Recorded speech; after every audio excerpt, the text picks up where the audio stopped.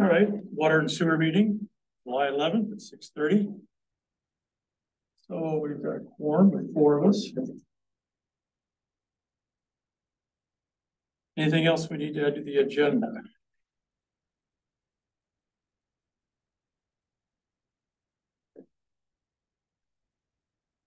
Seeing none, I make a motion, we approve the agenda, is there a second? Second. All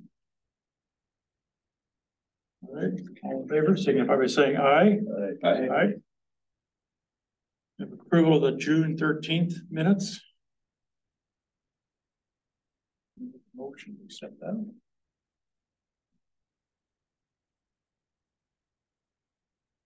Here. Same here. I was like. Is that a motion? Sure, yeah. Sure, they I'll, look. I'll move to minutes. The two people were here. For a second, Second.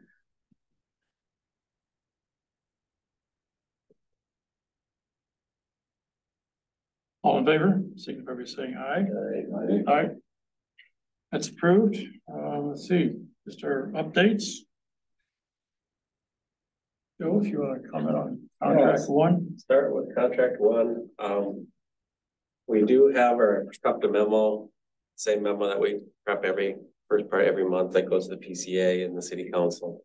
Um, but lots continues to go on at the treatment facility, although a lot of items are really getting wrapped up, um. A lot of the plumbing, a lot of the. Uh, mechanical, um. Even the finished work in the structures is, is moving along pretty quickly, uh. Structures are backfilled, site grading is getting close to complete. Um. A lot of things are kind of coming together there, so that's good. Um, over the next month or so, we can expect to, uh, see that work kind of continue. We're talking about installing fencing around the perimeter of the facility as, well as the gates, uh, talking about concrete paving or bituminous paving. Uh, they continue to install, uh, concrete work. Um, there's some sidewalks, uh, the concrete pad for the biosolid loadout. Um, uh, they'll be installing, um, light poles, uh, around the perimeter. The electrical work continues. Uh, they continue to do what they can do at this point. Um, but a lot of work that continues in that, in that vein, so. um, You know, by the end of July, really, Staub is planning to reduce their forces significantly. There, there won't be much left for them. Um, they do have a pay request totaling three hundred six thousand nine hundred and one dollar and zero or twenty cents. Um, so that brings their contract total up to um, before the retainage is removed, about eighteen thou- or eighteen million, seven hundred and thirty-five thousand dollars worth of work out of the almost twenty-one million dollars, so they're getting right down there, and really, the, the biggest thing that remains is the electrical work. Um, and so you guys know the status of switch, the switch gear, nothing's new on that. Um, we did have a construction coordination meeting today, uh, and got updates on things. The one update that we did get is that the, uh, motor control centers were supposed to be delivered uh, on the seventh of July. They did not come. Uh, they're now being promised on July thirty-first. Um, so that essentially about a three-week delay.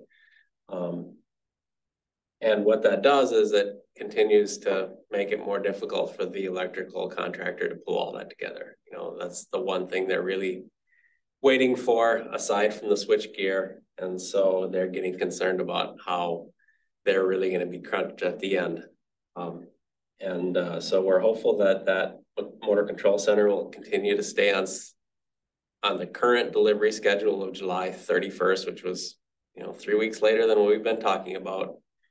Um, but, uh, and then continuing to work on that September commissioning and October startup. And the reality is, uh, those dates might slide, you know, two to four weeks, depending on when things do come in and how, how, uh, quickly the electrician's able to progress their work. So, um, a little bit up in the air on that based on the feedback that we got today. Um, but we'll continue to kind of work through that.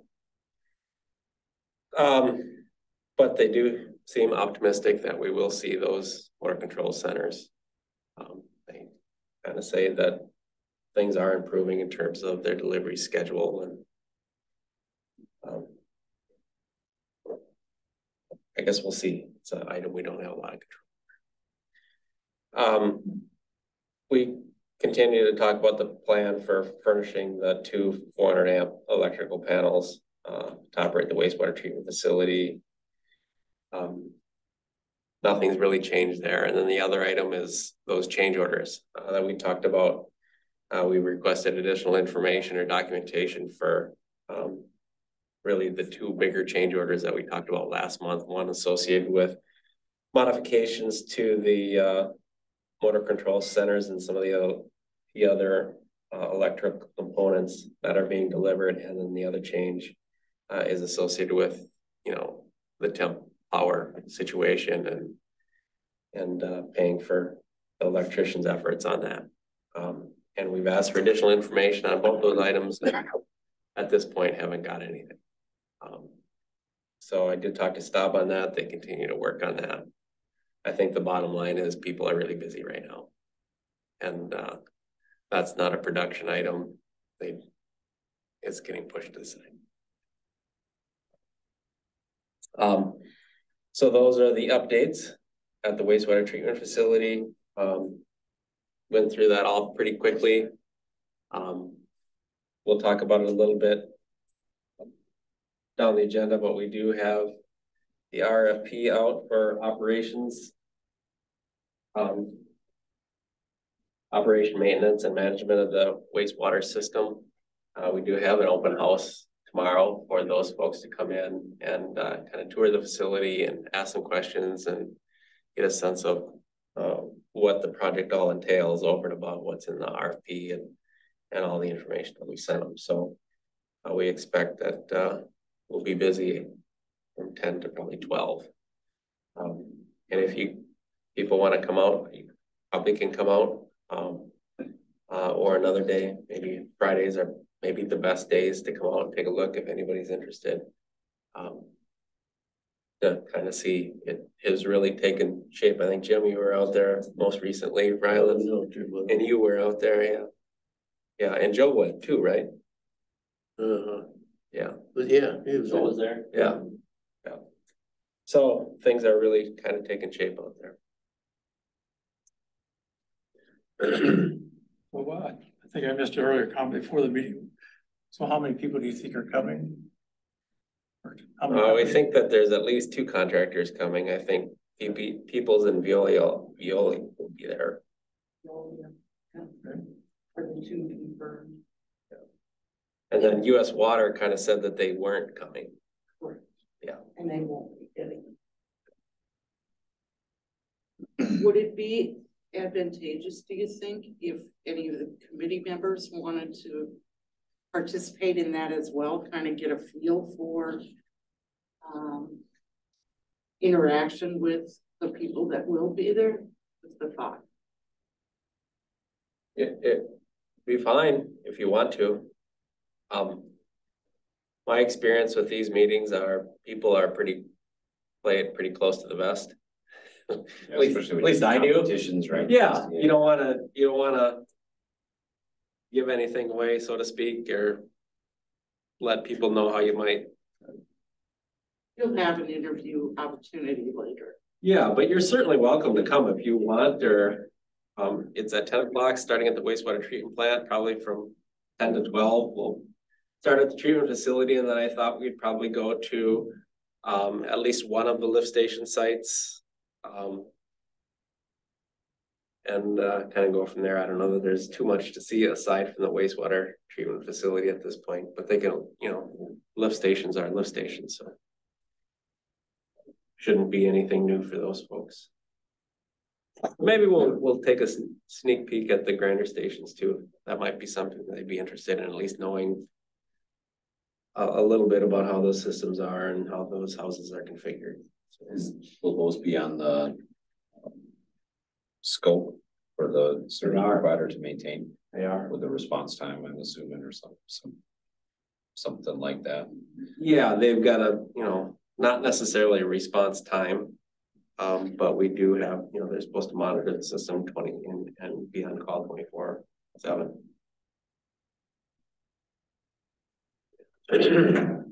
Um. Anything on the treatment facility aside from that, or should we move on in the agenda? Um. Is the electrical contractor plan or, or the general planning on any cost impacts or cost increases associated with that temporary electrical service? Yeah, they are. We talked about that last, last month. Um, that's two of the um, change order requests they submitted, and we basically tabled both of them and asked for additional information because they didn't really provide us any information. They provided us with a, a very rough uh, piece of documentation that had their total price on it. Um, and the two bigger ones, one deals with modifications we asked for uh, in the shop drawing review process associated with the MCC stuff back in August of last year, and we're finally getting, or they're finally submitting a change order request for those changes. And then the second piece was um, the uh, cost for the temp panels and temporary wiring and reworking that once it's uh, delivered. And so there are costs and I don't, I can't remember those two costs off the top of my head, but they're significant, like two hundred thousand plus total. Yeah, I saw, I saw. Oh, they're in the minutes, yeah. Okay, I, I saw the part of that, but I didn't see that, something about an expediting fee, basically, but. Well, there was one on that too, and we basically declined that um change request. That was uh basically Eaton offered to expedite their manufacturer for forty thousand dollars and then there was some additional wiring costs and things like that because the automatic transfer switch would have been removed from the panel. Yeah. Um, and we kind of collectively talked about that and decided that for the five months that that sped up the process, it really probably wasn't worth it. Um. Given the situation. And, And, and we didn't have time to react. Yeah. You know, they basically made that offer that we'll expedite it and we need to know your answer within a week. Yeah. Cities really don't, don't respond to that, uh, very well. You know, it just, it's gotta go through the council here especially. Especially when you're talking about, you know, I think that change, change our request was sixty and, and the, the mention here of liquidated damages, is that, has that discussion happened with the contractor yet, or has that been just at this? No, it's, it's, we've had a discussion about it, um, you know, and they, they will certainly push back and have to some extent, talking about. Just the supply chain issues and the fact that. It's, it's, it's happening all over. Um, especially with switchgear and. To a significant extent, the MCC stuff. But that'll continue to, you know, one of the things that we also kind of talked about is this is. You know, they kind of pushed out their offer, you know, it's, it's a little like buying a car, if you know what I mean. There's, there's some give and take and we've got some cards to play too and we'll continue to negotiate that. You have a question in the uh, proposal, and it's under the maintenance and operation cost. Um. You know, to bring it, it's one paragraph, we talk about provisions for maintenance and operation, but. Uh, and it may not happen, but, you know, should a pump have to be replaced? Um, the company we choose. Is that the type of thing that they will fix? Within that contract, or, or is that if they wanna send it to a third party, and then we have to pay for that, repair of the pump or replacement of components? Or do they handle it internally with the company that we choose? Well, I think any major repairs, they're not gonna, they're not gonna be able to do. You know, and uh, they might have an allowance, there's different ways to handle those repair costs, but if a. A pump or a motor needs to be rebuilt, for example, I, I think they're gonna, they're gonna send that out. Cause they just, That'd be, an- that'd be a city expense.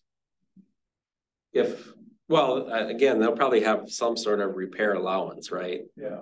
That they'll be able to use for, you know, maybe a capacitor goes out of a motor and, you know, they'll plug that in, but if it's, if it's, Rebuilding or something. yeah, if it's a significant cost, that's gonna come back to the city. Okay. And again, you, you do have, you know, that correction period or that warranty period for the contract. If something happens in the first couple of years, then we would probably look to that first. Sure, sure. But if, if, you know, there are certain things that that won't cover too, you know, if it's, And most, most, um, pump manufacturers have pretty tightly controlled distribution chains, so even if you choose shop A to repair your pump, parts all gotta come through the authorized channel and then there's markups and stuff, so usually it's kind of like your car, except there's no aftermarket parts, you have to take it back to the dealer. Sometimes you can get around that, but not usually. pretty specialized stuff. Yeah. I think, yeah. All right, thanks. I did pass out a copy of that RFP. We'll get to that later in the agenda, but people kind of want to peruse that. There's a lot of data in that. um, For the, uh, the contractor to, contractors to digest. Should we move on to the, um, contracts two and three, Yeah. sewer collection conveyance. Um. Contractor continues to, uh, work on site. Right now, they have three crews. Uh, the biggest effort is continues to be the deep sewer on Second Avenue or on First Avenue. Um, they're installing maybe hundred and fifty feet of sewer pipe a day. Um, you know, over the last couple weeks, they've been installing sewer from fifteen to twenty feet deep. Um, they're nearing the lower end of that range and then they'll start to gain a little depth as they, as they head, head north to Fourth Street. Um, but, uh, it's, you know, slow going, but it's steady and, um, the materials are excellent in terms of, you know, it's just sand. Uh, the problem with digging through sand is, you know, the, the slopes of the trenches don't stand up, so they're pulling boxes to, you know, minimize that, and it just, it's a lot of material to, to move and, and, and install back, and uh, Well, I think you're kind of through the big one, they're through the biggest one. yeah. Yeah. You'll be kind of deep there on that corner right where I live, It will be. but, uh, otherwise it'd be. Now you got a couple big culverts there. Yeah. That'll take care of too, so. So they're making good progress there. Um, you're all aware that we shut down Minnesota Avenue, Minnesota Avenue. There's three crossings that, or four crossings that were done, basically.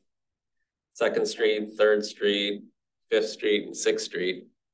Um, they finished Fifth Street crossing today, so all of the utility work is complete.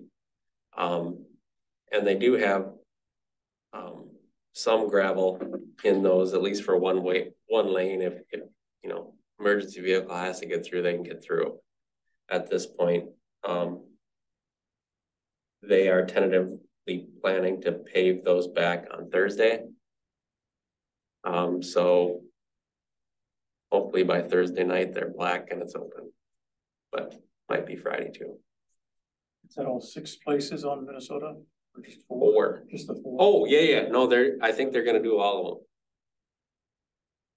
Yeah, cause there's two, two others that were done under traffic closer to Hunter Street. So I think there's six or seven patches in all they'll do and. Um, Plus the, no.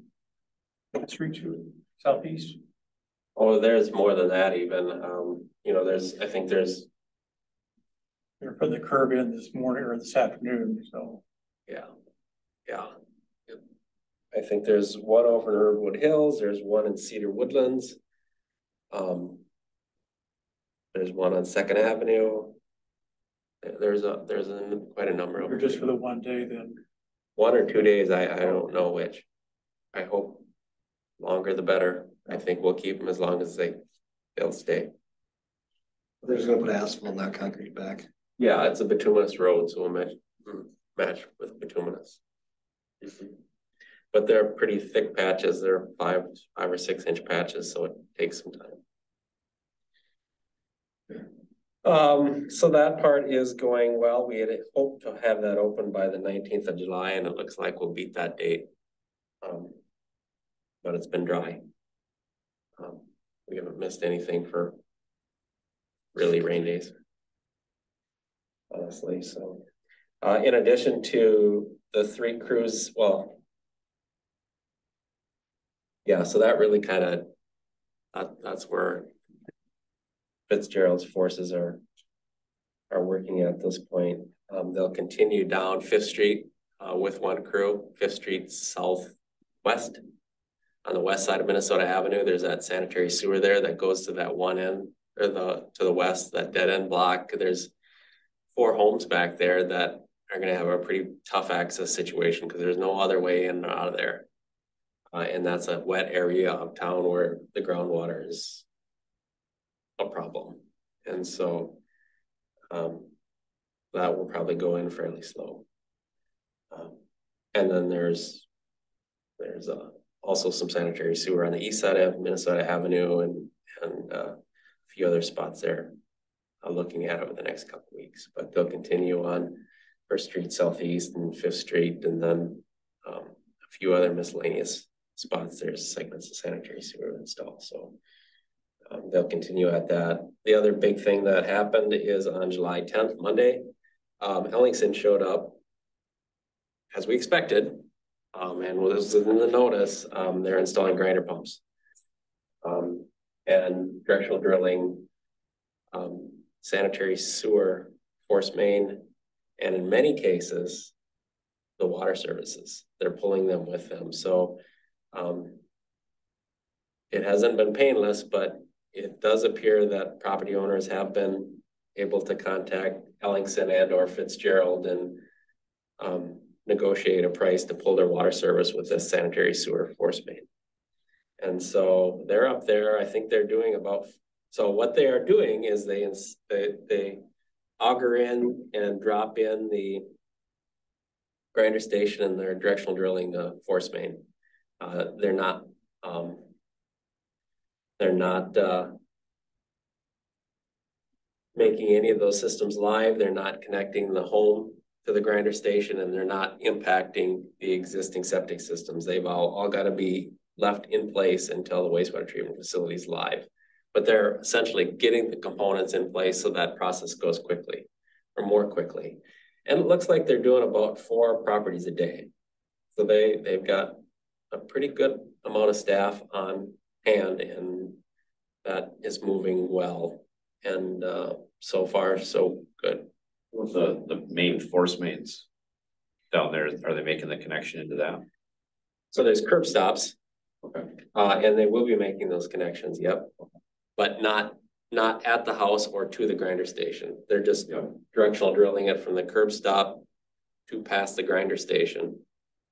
Uh, and then they'll tie, tie together the sewer and water at, you know, in, in, at the boulevard. So. Um, Pumps installed with the stations or the pumps separate from? no, they're all one unit. So they're monolithic units.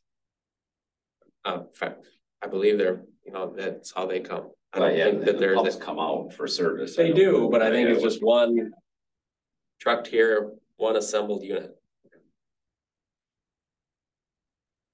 Um. So that's kind of the scoop. Um, so the property owner has left those, there's gonna be a pile of dirt next to the grinder station, and they leave that pile of the dirt so they have something to backfill the um uh, septic tank once it's pumped and collapsed. And, uh, there's some, some disturbance to the existing grass, but they're gonna have to come back over that all with a track vehicle to finish the installation, so that's not gonna be restored at this point. And then there's of course a hole where the curb stop was that they'll make that connection and they'll finish and, and backfill all that, but you know, that's what the disturbance is gonna be. At the grinder station, they do backfill the grinder stations up to a certain level. Um, but there's about, I'd say on average, six to ten inches around the um twenty-four inch grinder station that goes up. That's there, that uh they've covered with a piece of geotextile fabric and they've stapled it into the ground around it. And so we're kind of looking at that. And, you know, they've marked it, but I, I'm a little wary about how safe that is or isn't. Um, so we're gonna have a discussion with the contractor about that, but we just kind of came across that issue today.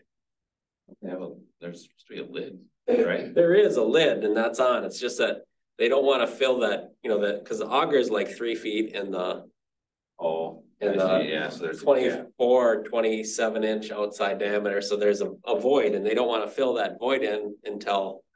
Um. They dig down and excavate for their connection. Um. Got it. So. They, they, they are, they, they are, you know, they place concrete around the bottom. In, in dry form, basically sackcrete for ballast. And then they backfill with pea rock up to a certain level, but that certain level is the invert of the incoming pipe. So. That makes sense. Um, I'm sorry, you were talking about the, the road closure south of the bridge. Perhaps being ahead of schedule for July nineteenth to reopen. Am I understanding that correctly? Um, the schedule that we put out in the resident update was that we expected it to be open by July nineteenth and we're hoping to have it open by the end of the week. Okay. So we're a little, a bit, we, the contractor is a little ahead of schedule, assuming things go as planned and we all know that they don't. So then my, my question then leads to, because then we're gonna move to north of the bridge. Right? Do we have a time frame On when those closures are gonna happen? Probably, it'll probably be a while. Oh, okay. The more notice we can give residents, obviously the better, and, um.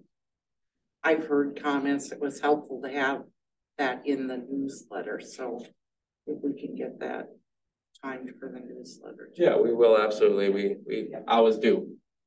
So, It'd definitely be after Gold Rush. Okay. Okay. Thank you.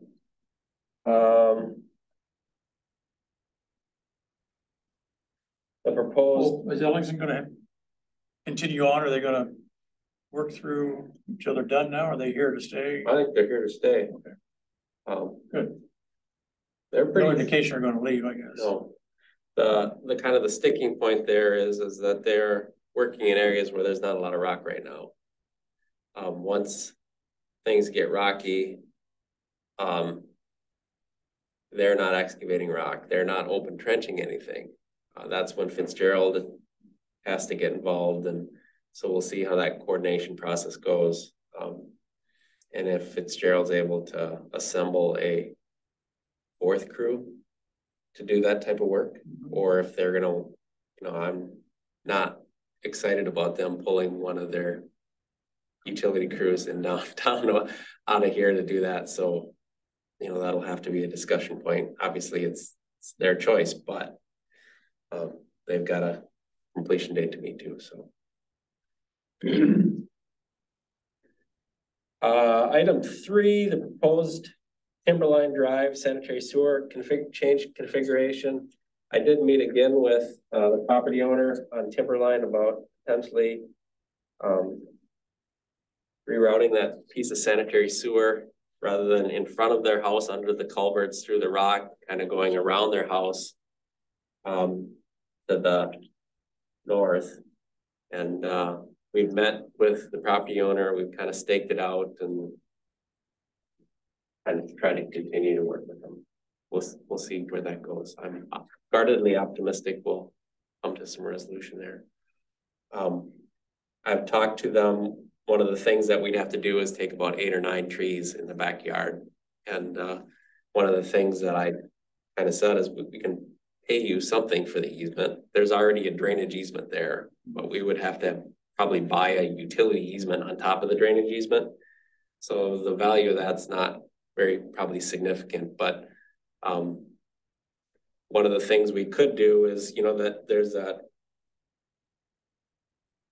Um, pathway that you, yeah, the city owned outlots to the. West of this property, there's supposed to be a pathway someday.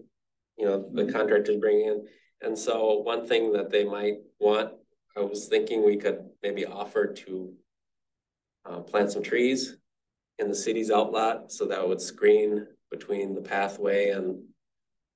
Their house, kind of in exchange for the trees we're taking, The, um, the something to location think of the about. house is, is, the west edge of the house is about seven feet from their lot line. Uh, I don't know, we're the thinking about GIS. the same house. Cause I have a site drawing showing where the house is supposed to be. And the house was like thirty-five feet from the west edge of the property. But what they submitted for approval and what they actually built, they moved the house to the west. Within seven feet because of all the drain pipes. Culverts, Oh, that's why they moved it, so they really don't have that much. But the trees in the outlot might be good, but that's, that's a thought, but just, just a reminder, their lot ends right about seven feet from the edge of the west house. yeah. Yeah. I guess I. I, uh, I didn't plot that out, or I, I guess I didn't notice I can that. show you sometime. But, a- you know, any, anyway, that, that was my thought, that might be a nice trade-off to kind of. So I don't know So if we come out of our contingent fund then? I don't, where else come from? yeah, it would have to. Yeah, okay. Um, Should- Kate, do you have a program where you're planting, are you getting any trees from the DNR that you could plant on that? Uh, we're getting some trees through a Emerald Ash Borer grant. Specifically for Oronoco Park, Oh. uh, So, separate, not a, not an option. not an option. What's the, what's, what's the root issue that the owner is requesting rerouting? Well, they're not, see, um, there's a. At the low point of Timberline Drive, there's two big culverts, right? Three big culverts, three 54 inch culverts, I think, or maybe one's sixty and the other two are fifty-four. And, uh.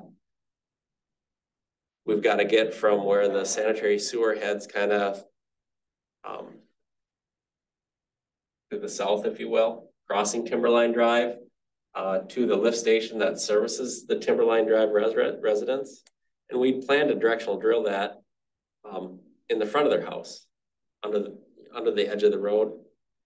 And uh, when we dug that up and they started drilling it, they hit rock. And so there's about two feet of rock that has to come out. And so to take that two feet of rock out, you take the culverts out, you take the entire road out. And there's no access there to get people in and out, and the culverts would be expensive to remove and replace. And it's just, it, it all kind of sucks, right? Um, it would be very disruptive. To open cut that.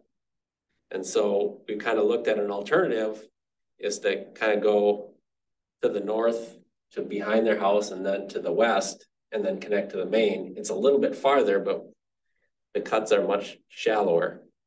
And uh, there's really nothing in the way except for nine trees. And uh, just seems like it's a whole lot easier and, and less disruptive for, for them, because they, they'd lose half their driveway.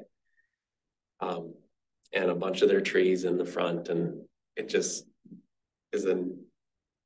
It seems like a better option for the city and for the property owner, and that's why we're pursuing it. And if, if if they don't want us to do that, or we can't get the easement, then, then we'll open cut it. But it won't be pretty. That'll be a seven foot trench probably. No, way deeper than that. I mean, yeah, for the, for the pipe, I mean, Thirty? It's deep, it's really deep, Deep, deep, deep. not probably thirty, but I bet you twenty. It's all twenty. really. All It's those deep. people on Timberline wouldn't have access. They'd have to park down west of where we're talking about. and hike in every day. Um, That road would be Two weeks. Two weeks? At least, It's, it's a big deal. gotta go under those culverts. Uh, hammer out the rock that deep. Put the culvert back, rebuild the road. It's not a trivial exercise. But that's the Um, way it was. Could they go up? No, it was planned to directional drill it. Um, but we found rock. In the middle of that, when we dug the main in, there was no rock. Um. That it connects to, which is deeper than everything else, you know, and Could be a a crazy idea. Um, could we have um. Have a path for them to go up through that field at forty-three acres from the, uh, where the, uh, um. Off of Second Avenue, across from the hardwood lumberyard. They go up through the field and they come at the end of the cul-de-sac at Timberline Drive.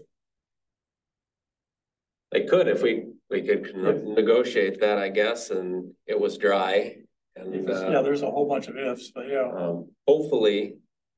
We'll work something out with the property owner and not have to do any of that. Um, that's, that would be a.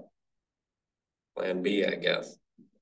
Um, that's not the desired outcome. no, it's not the greatest, but Um, and that, that's a long way and the slopes are steep and. You know. Yeah, And which, is it the property owner on the north side of the street or the south? it is the north side of the street. seven, seventy. And they're, they're, they're nice people and they've been receptive to it, but they're. Cautious, which is reasonable. So I, I've met with them a couple times and, you know, they, they're, they're busy too and Okay. just gotta continue to work through that. Is there a time frame as far as getting that done? Oh, wanna, Within a couple months or or not, well, weeks or? it'll be one of the last things that gets done on the project. Um, but it needs to get done this fall, Sure. so that means we need to. You know. Walk through this process and. Uh, if the contractor, you know, they'll have to purchase. A manhole and we'd have to execute an easement and do some things like that. So okay. it can be done. It's just going to take some mm-hmm. effort. But we have a little time. Um,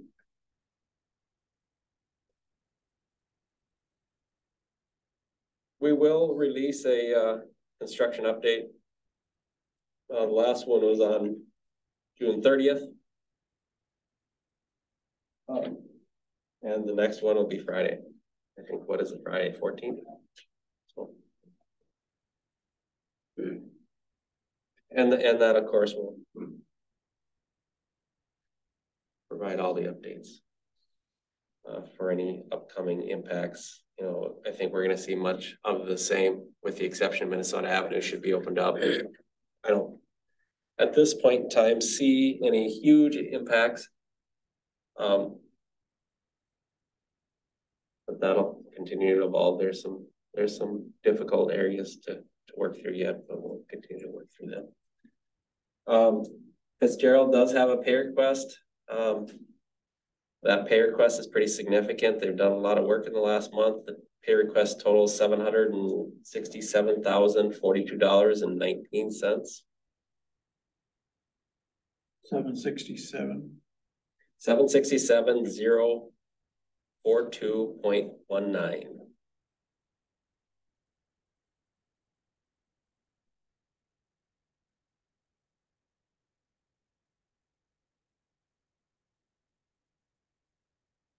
Um. A couple things. The sanitary sewer televisor has been in, you remember, we have within the contract, there's, they're supposed to tele, clean and televise all the existing mains. Um, and as they do that, they've uncovered some issues. Um, we found oh, a handful of manholes that are just buried, right? So they were never raised up. So they're inaccessible. Um, or they don't have a casting on them, they're just a steel plate. Um, covered with dirt. Um, found some mains plugged with grease and different things like that. Um, those things are getting taken care of. We will, the intent is to pay the contractor just under bid unit prices to adjust the structure so they're accessible in the future and they have castings on them and you know, silly things like that get addressed. Um, we came across one issue, Kane probably knows more about it than I do on, um, Alona Lane Southwest in Riverwood Hills four. Uh, there's a sanitary sewer main, uh, kind of extending through the woods off of that. I think that's a cul-de-sac, isn't it? Uh, it's, uh, goes south off of Riverwood Drive towards Alona Lane, in through the woods. And, uh, it's, a eight inch Y fitting that has dropped significantly. And so the jetter couldn't go through it because of this offset, so the camera couldn't go through, so there's about two hundred feet of sewer line that is not jetted and not televised yet, so we need to fix this Y, dig down and fix it, which it's only three feet down. So uh, should be fairly simple to, to dig it up, but, uh, Sanitary sewer isn't supposed to be three feet deep, by the way. right. Right, You know why it froze? Remember we had that cold spell? Didn't they freeze over there?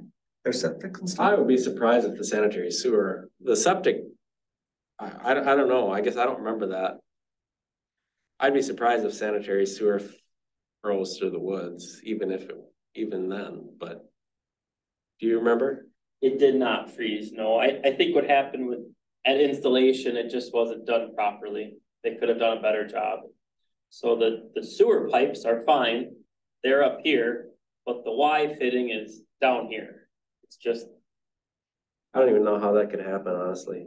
and it's, and it's a. It's a Fernco style fitting is what it is. Oh, It's, it's not a glued PVC So fitting, it's not a Y, it's a, a T, uh, whatever. cut in a T somehow and. They could squeeze an extra two lots in right there, and so they, they got the Sharpie out and said, do this. So, uh, that really needs to be fixed.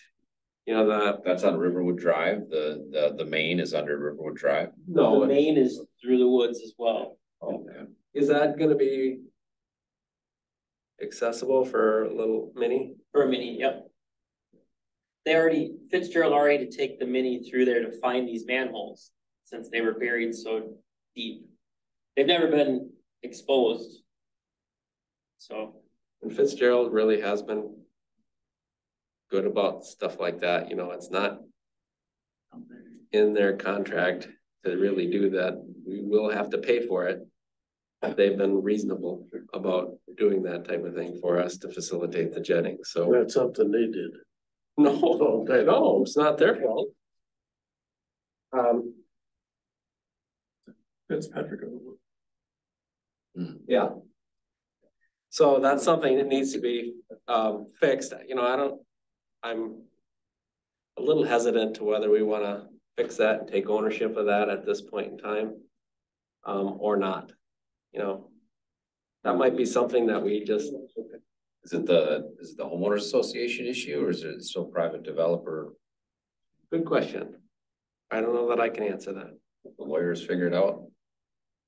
I, I prefer Belongs to not to, I Fitzpatrick. prefer just to for, to fix it, but I don't know that I wanna fix it before we. We're operating it, you know what I mean? So I'm wondering if it should just wait till. Late this fall. But the, what we find from the televised is, that's for our city benefit, because we're taking it over. So it's a matter of. I don't know. Having Fitzpatrick to fix it is kind of, That's not gonna happen, That's- yeah. that's a mood. Not gonna happen, so. So at least we know about it. And so, but yet if we run, if we have Jason Otten go over there and fix it, all of a sudden Jason's working on Fitzpatrick sewer. Yeah. That's the, That's that's not the gonna go well concerning either. thing. Does Fitzpatrick still operate the, the treatment system? Still All the collecting, rates? no. He's collecting checks. I, I, contractor said all of the tanks and stuff, everything's full. Five of them. At least. Not just there. They're all full. At River Park too. What I've been told. So anyway, I guess I, I would be, let's, let's keep that in our back pocket and fix it this fall, I think. Unless you guys wanna look at it differently. my take on it was is Fitzgerald's here, they got all their equipment here, they got guys here. I thought to benefit us and get this completed and off of our list, to just have them do it, but now what you guys are talking makes sense to take. They'll still do it, right? I mean, it's just, Yeah, when, when do they do it?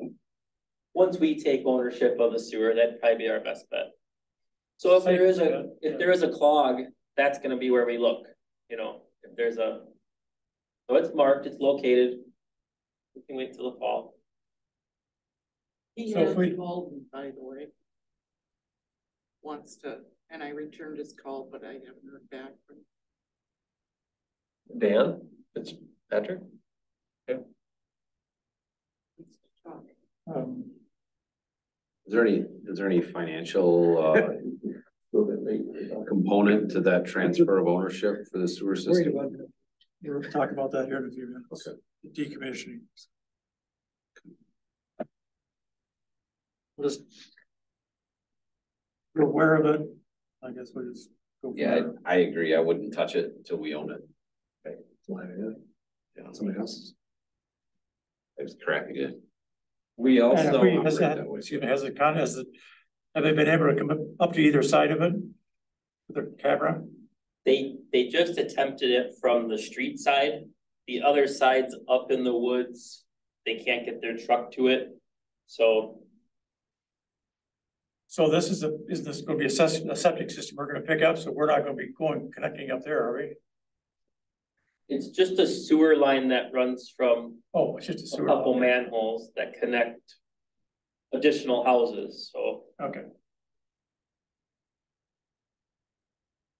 Let's wait. Uh, separate, but regarding that same, uh, project, jetting and televising. Um, heard from a couple of neighbors that we had some, some folks had some water. Coming Yeah, they had some, well, there's three homes that had water. We talked about this in May or June. Yeah, when did we ever track down? What was the call? Um, talking with the, um, the jetter company and engineering and it sounded like the houses aren't vented properly. That's kind of what I And was, it's pushing air through and. uh, it did Might have that. been some operator issue there too. Too high pressure. Cause the one, one It family, sounded more one like family an was air. Aware. issue, than a water issue, and that would be venting, but. it was- And the one family said there was some issues with. Venting in the house too already, so. It's just the way it was constructed.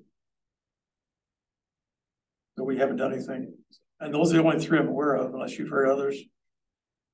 Uh, some people's traps just went dry. Yeah, mine, mine went dry. It was like, just sucked everything out. And then you get the sewer gas, so Exactly. people call, and we just said run water, turn every faucet on, every. Fill up your floor drains. It'll go away.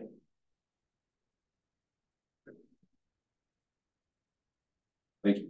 Sure. Uh, Manuals, stuff. Yeah, the RFQ and cost proposal for the wastewater treatment, um, system operation, maintenance and management. Um, is the next item on the agenda. I did include some information about uh, the tentative schedule. You'll notice the meeting is, uh, the pre-submission meeting is tomorrow and the site tour starting at ten AM. Uh, we're supposed to get the questions from the uh, respondents by the twenty-fourth of July, and then uh, we will respond to them over the next week. Uh, they need to submit their RFQ by the end of the month, July thirty-fourth, thirty-first. Uh, at four o'clock, um, then we'll schedule, schedule some interviews and notice that the interviews are on August eighth and 9th. Uh, August eighth, I think, is the sewer and water committee meeting. Correct, Sunny? Yes. And we thought that this might be a reasonable um group to participate in that. Um. And yeah, yeah. And so, uh. I assume we'll maybe talk about that with the council too and make sure that that that's okay. Right, and I think we, we kind of had talked about having a joint kind of We could. with this committee and council.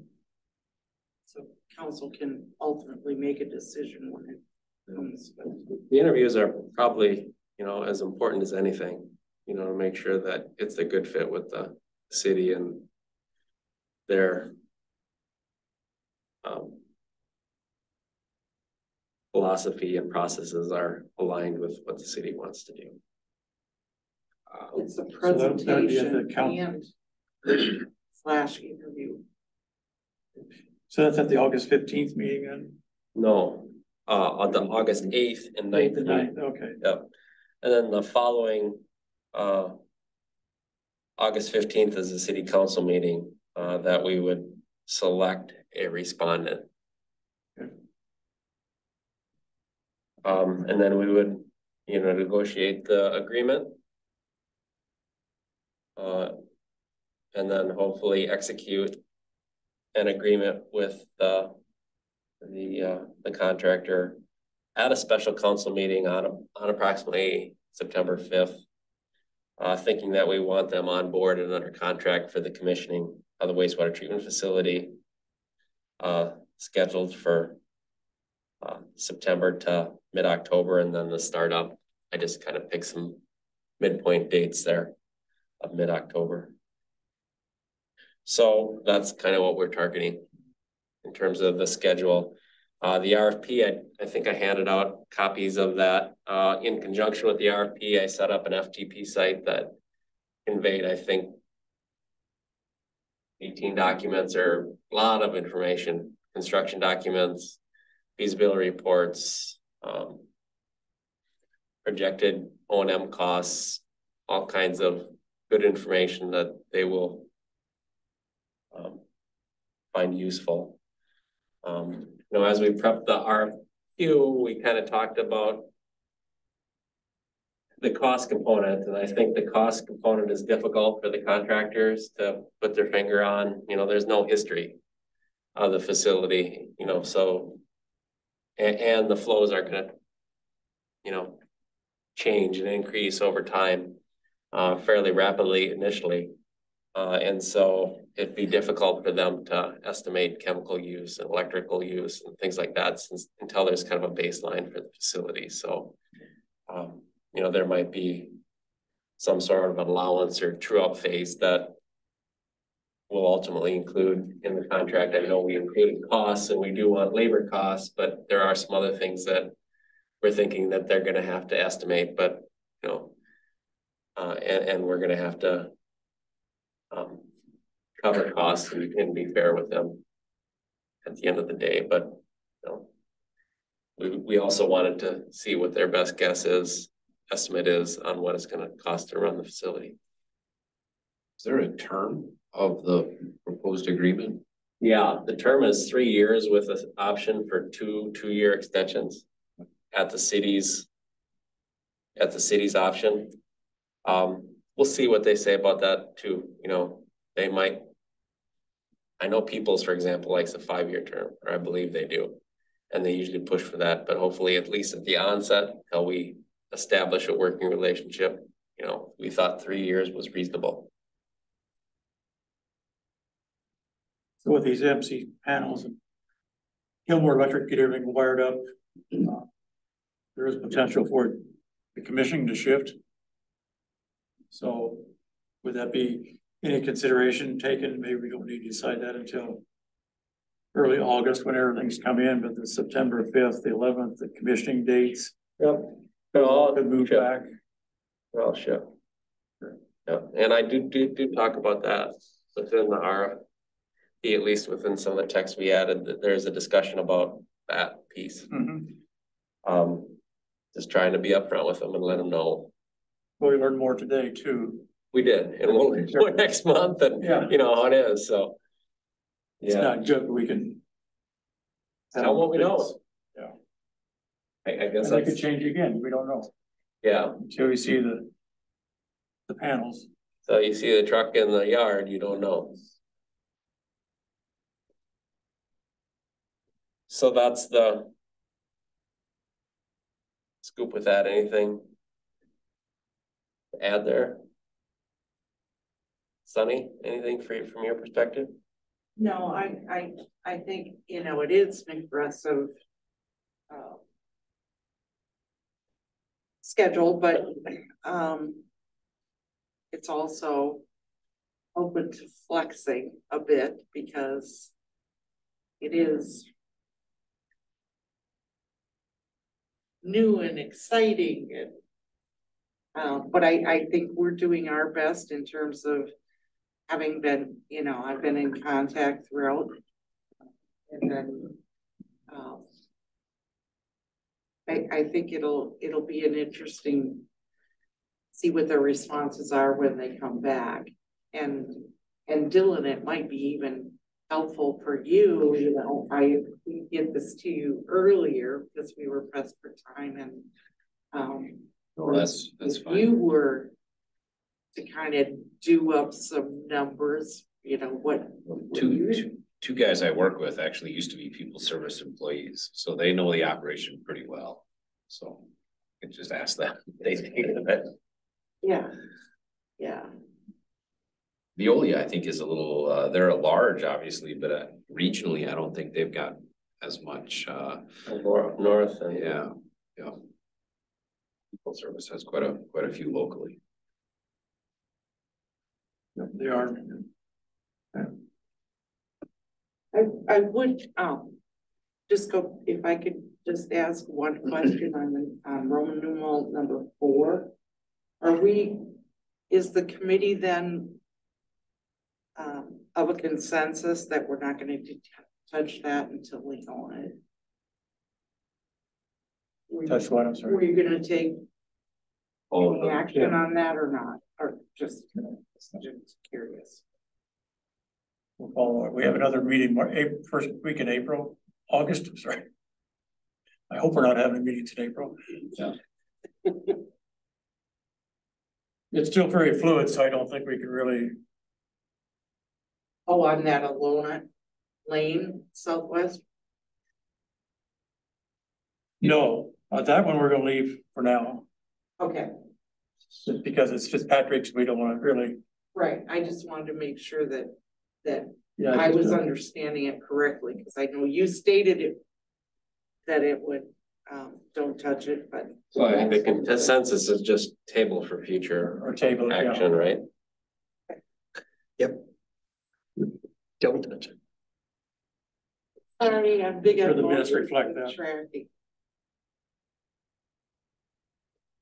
Anything else on the schedule? Um, of course, part of the contract with Stop is to provide all the. Manuals and everything that takes to operate, so that's been discussed with them already, so that's the expectation. Okay. Nothing else, the decommissioning, six? Sunny can give us an update. On the decommissioning letter to the developers. Well, I kind of have, uh, it's, Mike and I are missing each other on, on that, connecting on that, um. And now it sounds like the time frame is still in flux, so we'll, we'll continue to push on that, and like I say, um, Dan Fitzpatrick has contacted me, so that's, he's two out of the three, right? So. He probably wants to sign paperwork tomorrow. And Steve Jack, Jack Journey or Journey. Oh, I found out today too that as a, an aside, um, Oronoco State's NPDES permit expires on December thirty-first. So Hmm. they're anxious to make sure that we take their wastewater. And that's not, I mean, we operated under an expired permit for five years. It's just, That's true. you just can't do any, we can't make any big changes under an expired permit. You can keep doing what you're doing, just can't really change anything. Um, yeah, that is true, but you, it's expired not by action of the city of Rochester or any other city. It's a function of the inaction of PCA to process the permits, isn't it? Um. Some of that and some, uh, you know, they're, go through the rulemaking process and there's, you know, permit limits and things that Right, they're they're considering not changing. needing They're not ready to make, Yeah. yeah. Yeah, and rather than renew it, you just operate under your existing permit as it's just expired. Um, so. You know, since we're talking about the uh private systems. Is there expected to be any financial component to those transfers of ownership? Not that I'm aware of. Not the way the development agreements. Nobody are. pays anybody, it's just- We're not expecting, the city isn't expecting anything, but we don't know. That's why I'm. I'm a little nervous about waiting any longer. Uh, sending the letter out because it's only, we know for sure, well, I shouldn't say for sure. But the October date is, could be one October, could be ten November, but it is coming. Um, and just that initial awareness is important for Cedar Woodlands, Fitzpatrick, Steve Jack, Oronoco Estates. I think it's good to get that documented out there, so.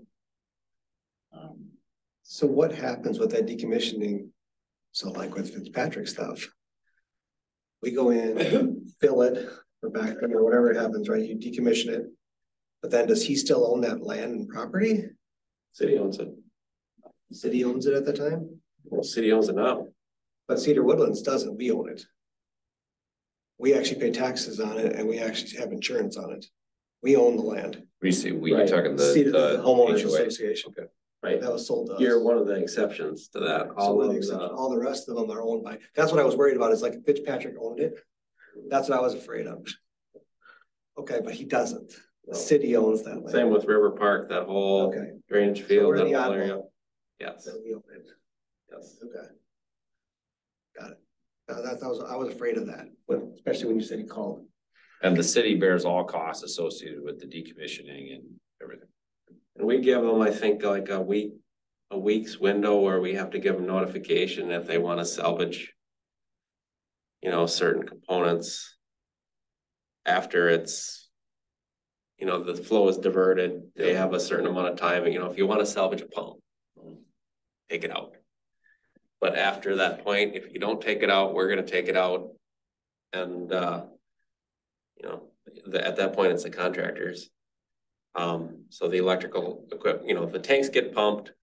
Uh, the biosolid gets disposed of, the electrical. Um, mechanical components come out and probably get landfilled unless they're, they have value to the contractor. And then the tanks get collapsed and filled. That saves And- Patrick money. Cause he would have to pay for that otherwise. Yes. Yes, That's what I'm saying. So he would want to do that, Yeah, us to do that. yeah. And then the drain fields, the cleanouts get cut off, below grade and just buried. He shouldn't worry. Except he can't send you a bill or anybody a That's- bill that's the He anymore, collect. right, yeah, Anymore. so. Okay, so Cedar Woodlands, because you own that drain field. There's that, I guess there is a possibility you could sell it to whatever future landowner is for Yeah, the, we got a call from somebody wants to develop that area. And that lets us know we wanted, if we we would sell it. So I think we have a drainage and utility easement over that. along the And west so that's why we could abandon the drain field and we. I think we actually. um, Easement along, Own or purchase where, own, own an easement or own the land where the, the lift station will be. So. Now that I think that through again, so, yeah. So, but yeah, I think I told him to call you, cause why would, I, don't know if you guys want that, but it's valuable to the developer and it's probably not that valuable to you guys, so, open plot of land in the middle yeah. Get what you can out of it. would be much better for their plan. Yeah. Can they build on top of that after you decommission it? Is there any rules? You No, can't. at least they shouldn't. Okay. They, they, it- they can, but they should dig it up Do all the remediation. and do any, rem- if If that's what I didn't know, because remediation, originally they had, I'd seen some drawings of like where they wanted to put homes, but I wasn't sure if you could build on top of that after you. For sure I wanna take out the tile. And then if there's any remediation, you know, I. I really wanna test the soil, but I doubt that there's any issue there. Um. But that would, and then recompact it, of course. So there's some effort there.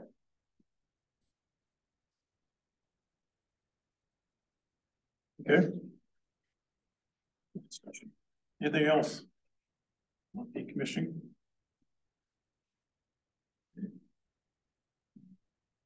Next item is uh something we've been talking about off and on. In your packet of information, there was two pieces of paper, one regards fifty-one oh twenty, which is water. Water connection and fifty-one oh twenty-one, which is the connecting to the city sewer system. Um, And I've highlighted the language in red, which identifies the, uh, in the case of sewer, it shall be connected to the city sewer system within one year after connection to the operational sewer system becomes available. That's the old twenty-one. The other one is old twenty.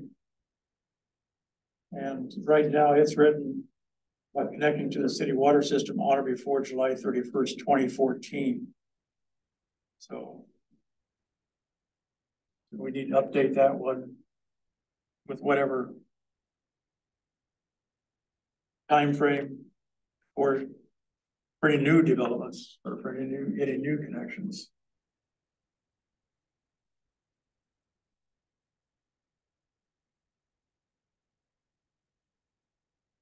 So, um. Our discussion in the past several meetings, nothing recently, but was the idea of of extending that. One year. Or, I'm sorry, you didn't even copy. That's good. That's great.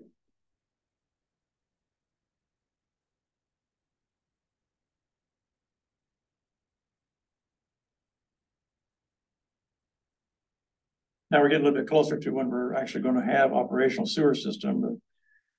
October, November, whatever case may be. Um, We've had some discussion about extending that to a two-year or twenty-four months. Putting a month on it versus a date or versus a year. That's something the committee would like to consider doing or recommend to council. Or the P and guess.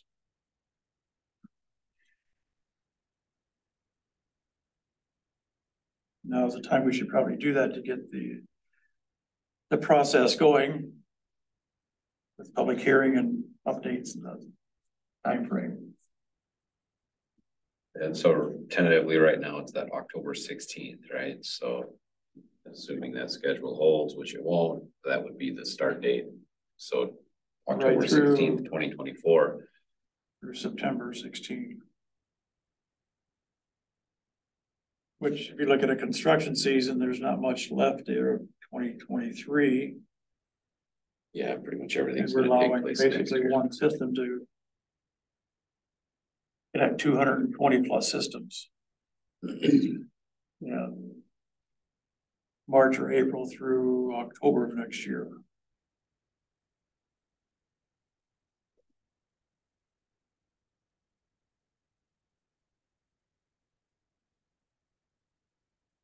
That's up for comments, discussion. I know at our public hearing, at one of our public information meetings, it should say. A request for twenty-four or two years, but.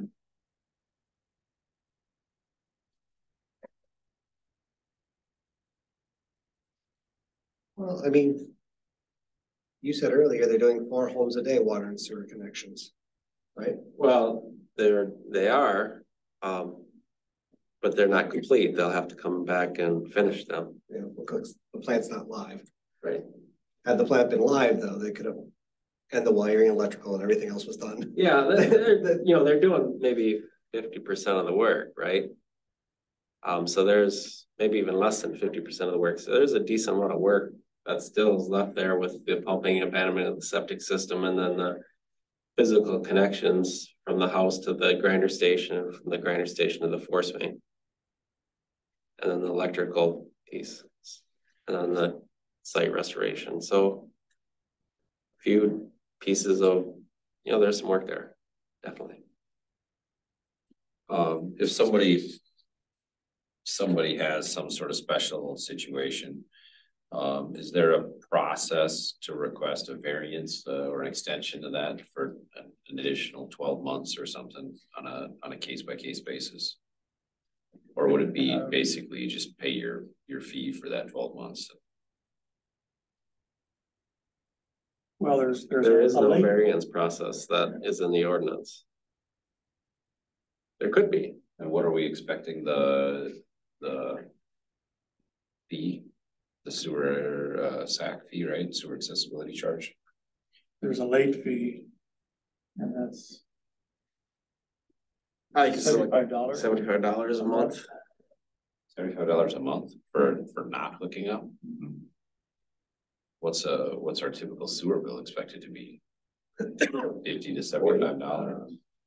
Thirty-five to forty-five, probably. on We five- want it to be, you 5,000 know, we gallons. want it to be the, Yeah. be an incentive, right? Uh, yeah, that's, You don't want it to be cheaper or as cheap than connecting, so that's the Yeah. thought process there. So the counter to leaving it where it's at is. We, um, the counter to that is just leaving it at one year. And having everybody connect as soon as possible. Um, and not let it go two years, go two years, we're not getting our. Um, maximum use of user rates to help furnish the plan. But somewhere there's a balance between. A lot of penalties or. Having more users pick, come out on two lot, on We- two years. you could, you could. Cut that rate, that seventy-five dollar rate in half and make up your user costs you know, right there. And And, and that, that fee would be less punitive then. And it would be more a reflection of. Um, to be, the actual cost the city's incurring by not having you hooked up. For that Right. individual property. Who's, the- who's paying for the cost of tracking all that? And Collecting all that? The city? City cost, yeah. So there's that component of it too, I guess, yeah. Cause to me, that's like, the In the butt. yeah, Yeah. They're like, okay, who didn't pay, who's, who, yeah, who didn't hook up? Like, you little, the master, little checkboard and. uh, Then you gotta collect the fee, and if they don't pay the fee, then there's a late fee on the late fee.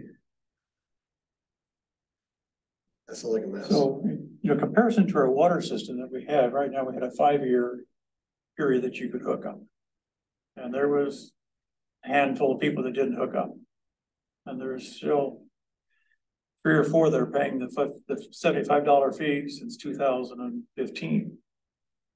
And that usually ends up going on their uh property taxes. At the end of the year, the council.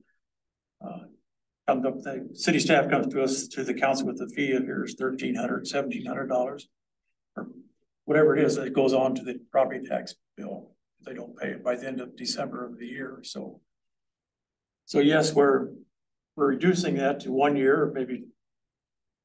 Two years, but at the same time, we've got a huge investment sitting there versus what we have with the water system. And we gotta pay our loans back to the PFA. Cause we don't wanna be, so we run the risk of not meeting our. Our loans, but at the same time, Is, is we're trying to, trying to work with our residents as well. and that's a real risk, I mean, just, just, uh, from a financial point of view, cash flow. And to counter that cash flow concern or cash flow analysis is our. Um, using our CIP funds for some of that. Shortcoming, but we're hopeful that Because when you bring on the developments, uh. River Park, Cedar Woodlands, Riverwood Hills, we're picking up. Over two hundred and twenty users right away immediately. That's gonna help offset some of our additional. grinder stations, right? And grinder stations, yeah. And Oronoco States. And Oronoco States. So there's, there's risk there, but it's not as bad as. Having two hundred individuals at this. Can I ask a question? Instead of keep moving the date like this July thirty-first, like, we don't know when the thing's gonna be live yet, right? No. So can we just say by December thirty-first of twenty twenty-four? You have to be hooked up. Obviously, you're not gonna be probably digging and doing this in December. So the, the But if it goes reality, live end of October or if it gets pushed to November. You still give them a year. you know, the reality is that we will, we send them a letter. That says Which you're right. sewer and water is available to your parcel. You have a year to connect. And that letter goes into a spreadsheet, you know, they, it gets documented, so that's how we track it, but not everybody's on the same schedule. So then, why do we have to have the date in there in, the- in the actual, shouldn't be in there. okay, so that, cause I just keep it at one year, and then when you get your letter. And then you don't have to worry about this date, cause a year for one person might, like you said, the October, and a year for somebody else might be a different date. And the other thing that we've kind of made the decision on is we're not sending that letter out. Until you have both sewer and water for people that are getting both sewer and water, because You're gonna do both at the same you're time. gonna do both at the same time, so it's not fair to give you two different deadlines. Yeah. So we've made that kind of that decision, not that affects most people, in fact, it doesn't, but it affects some people. hundred and nine. Water and sewer. Something like that. Users, new water users, I should say. To the three hundred and eighty-six we have now.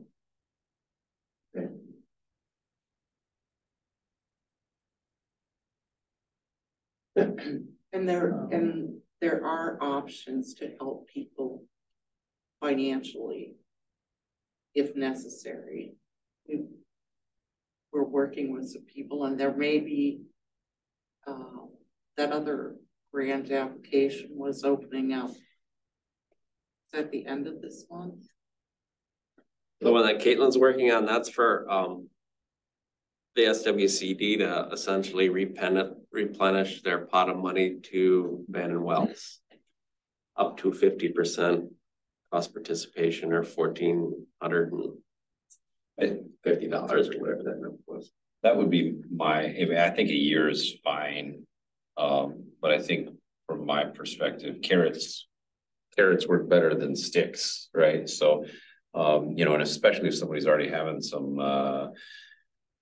You know, cost issues with the project, a seventy-five dollar fee isn't gonna make it happen any faster, right? And so I, I think, uh, connecting folks to contractors and resources to help pay for it. Um. That would be useful. But twelve months, yeah, it seems, seems reasonable, especially if it's active this fall, that gives you about six months to line up a contractor and another six months to make it happen.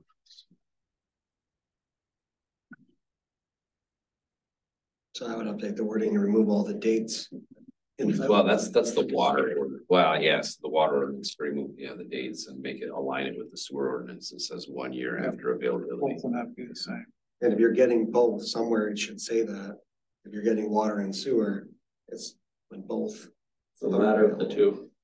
Yeah. Right, it- Yeah, I would add that in there so that that way it's, it's in the code. But we do have some people that are just getting water, no sewer, Yep, and that's fine. and they can connect now. Have to wait for a letter, well, they have gotten a letter. uh, well, they have, okay. Have you sold any meters yet? Had three applicant, applications for water. Right, two. Two trenches have got, three trenches have gone in, Correct. so the meter and plumbing pieces, yeah. going.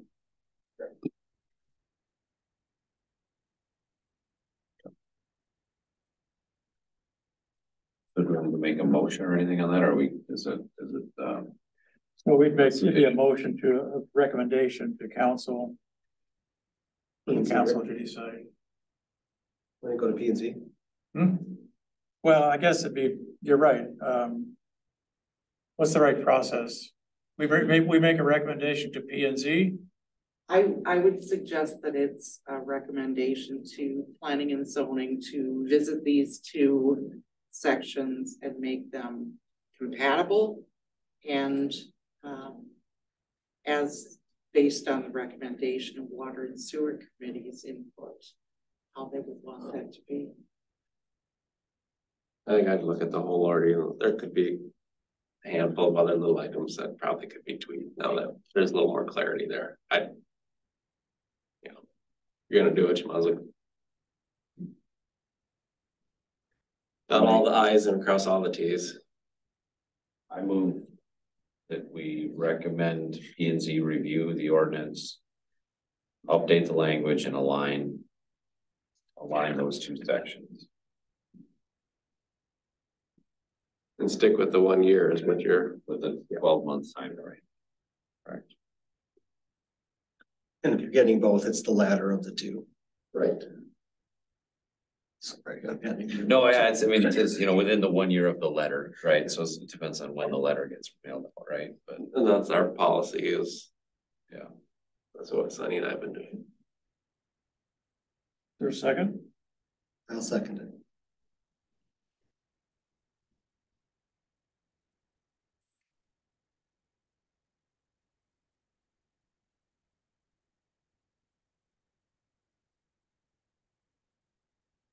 Any other comments? Uh, I just go back to my comment of the, of the twenty-four month, I think that will be more acceptable by residents and, um, but that's, um. We'll see what, what comes out of the P and Z committee and council too, so that's. Any other comments? All in favor, signify by saying aye. I, Aye, I'll vote for unanimous. Uh, Opposed, I should say. Okay, that's approved. You're opposed? You're opposed. What's that? You changed to oppose? No, Okay, so I it said- unanimous. to make it unanimous, I'll say yes. Thank you. So we're, as a team, I guess, so that's okay. All right, um.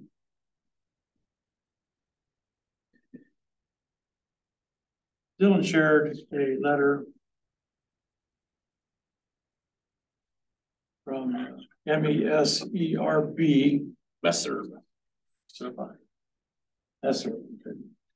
Do you want to explain what it's all about? um, so it, Messerb is a. Um, membership organization that is kind of a, a group of smaller. Municipalities and, and some, uh, engineering firms and contractors. Um, that advocates on the behalf of their members, uh, primarily to state regulators. Um, so, uh, issues like, uh, changing limits. Uh. Uh, what do they call them? Priority pollutants, things of concern, things that the state and the EPA are looking at regulating. Uh, Messer advocates on behalf of their membership to, to work with the PCA. Um. To make sure that those regulations and rules, um, include the perspective of cities and treatment plants. Um. So one of the documents that was attached was, uh, uh, PFAS, right? Um, forever chemicals, you hear about in the news. Um, some states, uh, have completely banned the application of biosolids. Um. Oh, yeah, yes, wow, what do you do with it, right? Um, you truck it across state lines to somebody that doesn't, but, um, uh, but things like that, um, Messer advocates on behalf of the members with PCA to try to prevent that kind of thing from happening, to make sure that the rules follow the science. Um, and that the impacts to the, uh, members are, are included in in kind of the rulemaking process. Um, and so the city of Rochester is a member, um, as well as, I I think there's a list of, of other members, Stantec is a, is a member. Um. And so. You know, the regulatory certainty component, uh, of our permit, uh, is helpful.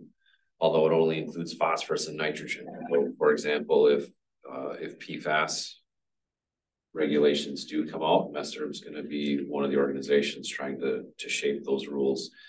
Um, so they're not too restrictive and damaging on our end. Um, chloride pollution, um, is another, things from salt, from water softeners and road salt, that's something else that Messer is actively working with the PCA on. Um, so, so there are still components of what Messer does that could be beneficial to the city. Just looking at, and I didn't include just. Um, didn't include this in the packet, but there's the membership is, is larger cities. Um, Albert Lea, Austin, Mankato, Northfield, Owatonna, Red Wing, Rochester.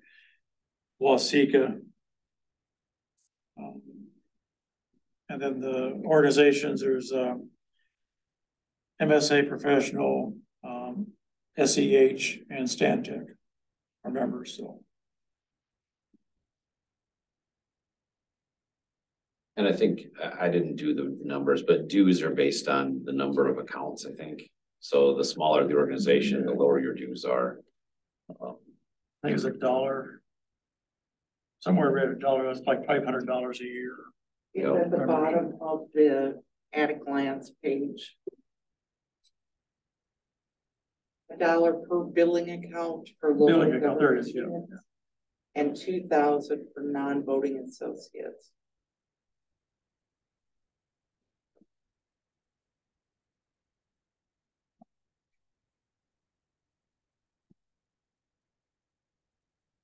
You know, we have a regular certainty. With phosphorus and nitrogen, but unlimited for ten years, so it's a matter of. We may want to consider joining it later on, or we can. I think you just want to bring it to our attention. really. Yeah, I, I have no, um. No position either way, um, I, I do. Feel like it's a valuable organization, but. Um, you know, whether or not city of Oronoco. uh, Decides to become a member, I don't have a strong. opinion one way or the other. Have you ever gone into the meetings or I have not, um, but no, my, people that have gone? my and they try to- colleagues do, yeah. Yeah, actually, the, the, uh, deputy director of public works in Rochester. Um, um, Aaron Luckstein, who used to work at the PCA, Mhm. um, he's on the board. Yeah, no, we worked with him initially on our permit. Yep. Nice guy. So, yeah, I mean, I, I think, um. You know, it might be. If we're really interested, it might be helpful to call some of the other communities that are a little smaller, places like Red Wing and Waseca, and just see what, what value they have. It's fine from it, but. Um, This was my question when I read through the packet. They offered some like review or something. permit review. Permit service, review. Yeah, That's, but then I was like, well, what else do we get out of it? They're advocating, they're gonna advocate, Mhm. but then like, well, well, the more members they have, the more, um. Like any organization, right, the more people you're advocating on behalf of. Um, the louder your voice gets, so.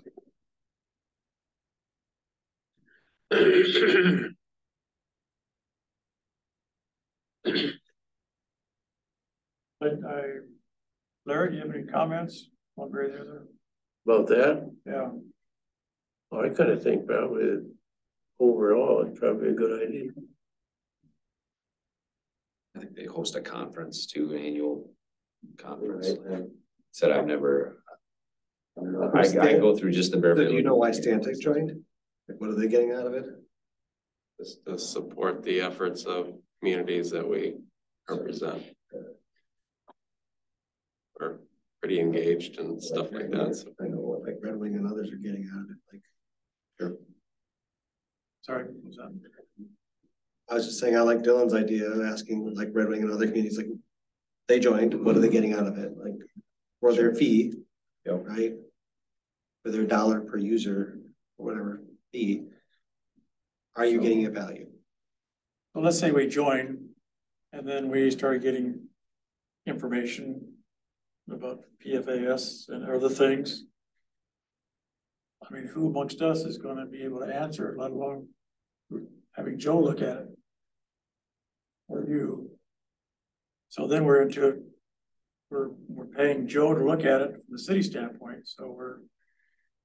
If we want, if we want him to respond from us, from our city engineer perspective, is this a good thought, bad thought, or we just don't send it to him and somebody on our committee decides to respond? I Usually, don't know, yeah, usually, the money that you're gonna spend, and what can we, how can we contribute, I guess, to make it worth our value? yeah, I think those kind of things are usually held at a either quarterly or annual meetings. The membership will, you know, everybody sends a representative and they have discussions and talk back and forth and some, you know, the um, the board will kind of say where discussions with the PCA have been and and what the membership thinks of different things. So it's um but but certainly I I would be willing to call a few of those more local communities and smaller um and just see what their thoughts have been. I imagine they send out, you know, information on things they're working on or opposed to or advocating for, just. Yeah. But that, that information's out there. I- anyway. I mean, Yeah, I think, a- I think a big one recently that Rochester worked on in the last ten years was the chloride rules. Um, for, so for example, um, chloride is a pollutant salt, you know, if you discharge salty water.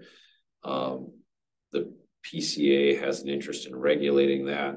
The city of Rochester does not have a centralized water treatment plant and so therefore could not really control the amount of salt that's in the wastewater. And so, uh, through MESERB, uh, worked hard to make sure that the regulatory process included a variance that said, hey, if you fit these criteria, you can apply for a variance from the regulation. Um, and so that's, I think, one example, but I'm sure there, like I said, I'd be willing to uh, reach out to some other folks and see if there are other stories like that. So, I think that'd be a good, table this for now, and if you would do a couple telephone calls, that'd be great. Yep. Bring that back to the committee. Okay, thank you. PFAs must be a big topic right now, because I'm thinking I just got a. Uh, notice from another attorney that. Is looking for if we have any, uh. In our drinking water. Stuff, yeah, Yeah. Yeah, it is. It's, it's like a, it's a buzzword, been around since the fifties, but now it's a big deal. but yeah, it's, it's hitting the legal community right now. Well, I, these smell money, right? yeah, there's huge settlements. Yeah, In it's, it's companies areas. like DuPont and three M 3M. are, are the, the plaintiffs, or whatever you wanna call it. All right. I believe that's everything on our agenda. The motion, the meeting Is adjourned. this- I'm sorry, I'm sorry. Could I just, this regulatory certain. Certainty agreement. That was signed in twenty nineteen, was that, Right. did I miss that conversation? Did We ever get a copy back that was fully executed? Nothing on our agenda, or am I missing? It was in the attachments that you sent, was the regulatory certainty agreement with the PCA. Yeah, I'm sure you have a Oh, that was the executed title of copy. this. of the regulatory certainty agreement. I don't have a copy because I never get a copy of the final agreements. Nobody ever sends it to me. I, I assumed that was related to the MESERB conversation for, for municipalities that do not currently have nitrogen or phosphorus. It's that Right, we, one of the things MESERB is working on, I'm sure for those Yeah, we were- communities is making sure those One of the first- cities to get the permit for regular certainty too. Which allowed us a ten-year grace of any phosphorus or nitrogen limits, nitrates, nitrogen limit changes, so. okay. Sorry, thank you. Um, is there a second? Larry will second that. Yeah, okay. All in favor, say aye. Aye. Thank you very much.